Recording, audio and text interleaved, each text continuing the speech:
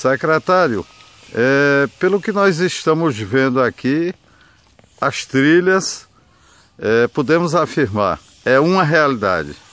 Exatamente. Bom dia, gente. A partir de outubro, aqui no Parque Zobotânico de Teresina, trilha de arvorismo, com muita emoção e aventura.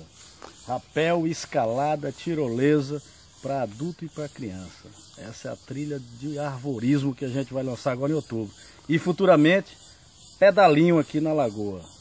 É, secretário, o Barco Escola também é, é, é uma obra, é, é, vai se tornar realidade dentro de poucos meses, né? Esse, esse barco vai trazer as escolas do Centro de Educação e já vão chegar aqui no local das trilhas, não é isso? Isso mesmo, barco escola, mas barco escola é um pouco demorado. A gente está construindo o barco no estaleiro para poder é, trazer com a educação ambiental o pessoal alunado da escola pública, da escola privada, 50 lugares com muita educação ambiental, do Parque Futicabana, Centro de Educação Ambiental, até aqui o Parque Zobotânico.